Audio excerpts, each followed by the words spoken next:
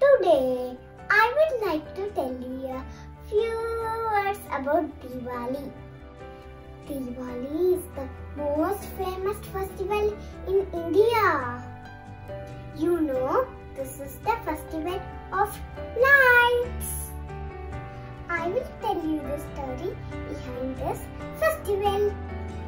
On this day, Lord Shriram returned to Ayodhya after 14 years with his wife Sita Devi and his victory over the demon Ravana. On this day, we decorate our house with diyas and candles.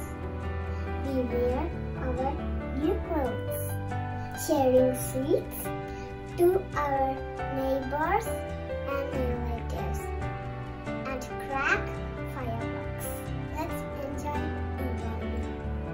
Wish you all happy Diwali.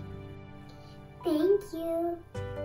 If you like this video, please subscribe to our channel and click that small bell icon. Bye.